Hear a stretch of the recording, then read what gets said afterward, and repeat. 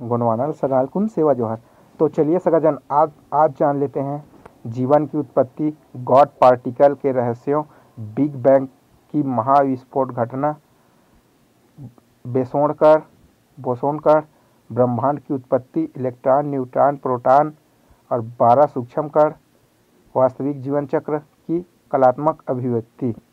गंड गोंड गोंडवाना गोटुल गुड़ी गायता गोंडी, कोया कोयतोर पुकराल पुरूर, पेन, पंडुम और पुनेम के बारे में। तो सबसे पहले शुरू करते हैं गंड अर्थात पुकराल यूनिवर्स का मूल कण, जिसमें पुकराल की जीर ऊर्जा समाई हुई है। यूनिवर्स अर्थात ब्रह्मांड का मूल कण, जिसमें पुकराल अर्थात ब्रह्मांड की जीर अर्थात डीएनए की ऊर्जा समाई हुई है। सृष्टि में हर चीज़ को कार्य करने के लिए द्रव्यमान की आवश्यकता होती है। अगर इलेक्ट्रॉन में द्रव्यमान नहीं होता तो परमाणु नहीं होते और परमाणु के बगैर पुकराल में किसी भी चीज़ का सृजन असंभव है। पदार्थ और कुछ नहीं, यही ऊर्जा का दूसरा रूप है। अब जी ओ डी गॉड। सबसे अंतिम बिग बैंग की घटना तेरह दशमलव सात खरब वर्ष पूर्व हुई थी। से लगभग सोलह खरब वर्ष पूर्व, यानी आज से लगभग तीस खरब वर्ष पूर्व, कणों का संघनन शुरू हुई, जो आज से लगभग चौदह खरब वर्ष पूर्व तक एक विशाल काय गोले में तब्दील हो गई थी, जिसे गोंडी लैंग्वेज में गॉड अर्थात जी ओ डी कृपया भगवान न, भगवान वाला न समझे। विशालतम गॉड बनने के तुरंत बाद बिग बैंग की घटना के दौरान महाविस्फोट से असंख्य जी ओ एन डी गोंड पिंडों में बटकर पुकराल में छा गए। विस्फोट की तीव्रता इतनी अधिक थी कि वर्तमान अनंत पुकराल सीमाओं को छूने के लिए गोंड पिंडों को मात्र एक दशमलव तीन सेकंड ही लगे थे। जी ओ एन डी अब गोंड के बारे में जान लेते पुकराल के वे स्वतंत्र, परफेक्ट कण जो बिग बैंग की घटना के बाद पूरे पुकराल में फैले हुए हैं।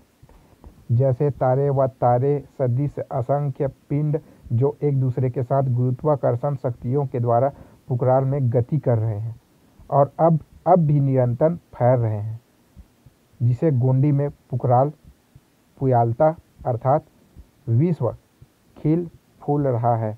आधुनिक रिसर्च भी यही मार रहे हैं। अब कोया के बारे में जानते हैं। कोया मतलब जीवन के लिए आवश्यक कुछ प्रोटीन समूहों का एकीकरण। जीवन की शुरुआत। प्रथम जीव। प्रोटीन का समुच्चय। जिनका निर्माण लगभग पिछले तीन दशमलव छः बिलियन वर्षों तक बनना शुरू हुआ था। फिर सरल कोशिकाएँ। पिछले तीन दशमलव चार बिलियन वर्षों तक बननी शुरू हुई। इस दौरान तक स्नायु बैक्टीरिया प्रकाश संश्लेषण करता रहा जिससे धीरे धीरे ओजोन परत का निर्माण संभव हुआ। जो भी को, कोया आवरण कहलाया।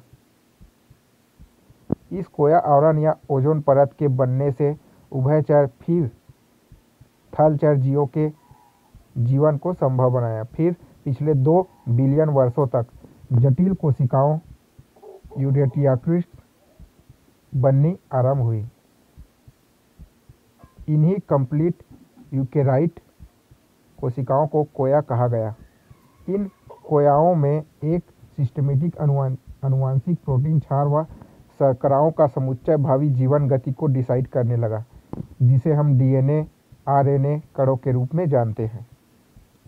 इन कणों को झीर के नाम से जानते हैं। झीर के मुख्य भूमिका निभाने में कोया में क्रांतिकारी परिवर्तन हुआ। बहुकोशिकीय जीवों की आधारशिला निर्मित हुई। इन बहुकोशिकीय जीवों को काया अर्थात शरीर कहने लगे। पूर्व में कोशिका विभाजन के द्वारा ही जीवों की संतति बढ़ना संभव हो पाता था। अब इन कोयाओं में लैंगिक कोशिकाओं का अलग से विकास होने लगा, अर्थात को धन या पिता और माता, स्त्री, पुरुष। इससे जीवन में संतति पैदा करने की गति तेज़ी से बढ़ी। इसके उपरांत धीरे धीरे इन जीवों में संतति कोष में संतति उत्पन्न करने की तकनीक विकसित हुई। जीवों के इन संतति कोष या गर्भ को पुनः कोया नाम प्रदान किया गया। यदि वनस्पति बीज कोष है तो उन्हें भी कोया या काया नाम दिया गया। इससे पुरुड़, अर्थात पर्यावरण या प्रकृति के जैविक विकास में क्रांतिकारी परिवर्तन हुआ। इस तरह कोया मतलब इस पृथ्वी पर जीवन को सुरक्षित रखने का आवरण, या इस दुनिया में जीवन की अनंत संभावनाएँ, या इस दुनिया में जीवन की अनंतता के लिए चयनित मानव प्रजाति। पुरुड़ अर्थात प्रकृति। पुरुड़ से पुरुड़ अर्थात भरपूर। भरपूर अर्थात संतुलित। कोयतोर कोया जीवन के रहस्यों को जानने वाले प्रजाति। अर्थात कोया तून तून तोर या कोया तून पुंदलेर माने। या पुरुड़ को संतुलित रखने के लिए इस पृथ्वी पर चयनित प्रजाति। इस तरह से इस पृथ्वी के वर्तमान होमोसेपियंस मानव को धर्म धर्म आडंबरों के क्षणिक चक्रव्यूह में न फंसकर इस पृथ्वी पर जीवन के प्रथम करने जो जीवन के लिए कोडिंग कर, जो कोयतुर व्यवहार निरूपण किया है, उसके अनुसार प्रकृति पुनेमी व्यवहार करते हुए जीवन ऊर्जा को इस पृथ्वी पर अनंत काल तक बनाए रखने में एक माध्यम बनने की कोशिश करे। गंड गोंड गोंडवाना गोटुल गुड़ी गायता, गोंडी कोया पुनेम, पेन, पुरूर, पुकराल, कोई जाति धर्म तक सीमित क्षेत्र को ही रिप्रेजेंट नहीं करते, बल्कि इन इन शब्दों की व्याख्या समय और पुकराल के सूक्ष्मतम सूक्ष्मतम और विशालतम क्षणों व कणों के मूल तत्वों को परिभाषित करता है। गॉड पार्टिकल तक ही अटके विश्व के वैज्ञानिकों को इसे समझने के लिए अभी पुकराल में लंबी सफ़र तय करनी होगी। मानवीय मस्तिष्क को आडंबरों से कमज़ोर करने वाले विभिन्न धर्मों और पूंजीपति नियंत्रित विज्ञान को अब कोया कोयापुनम से सीख लेनी ही होगी।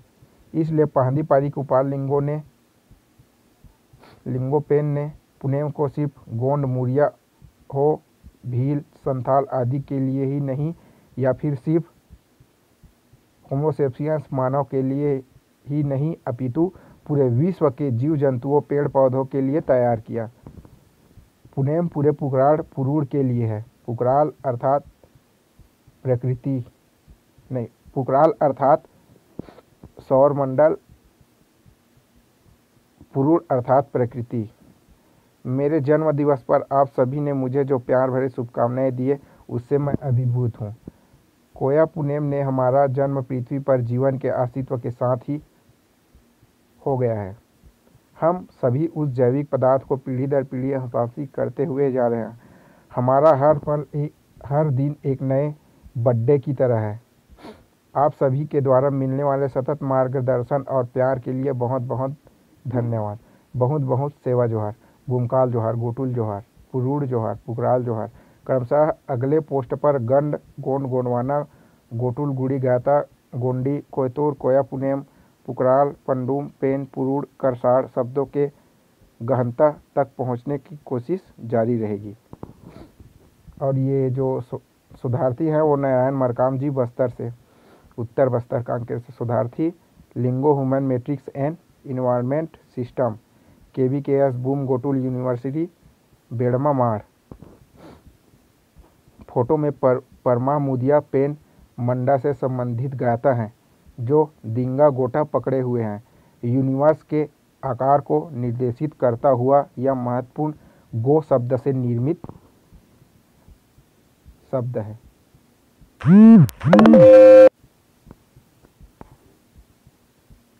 सदर सेवा जवाहर सगाजन।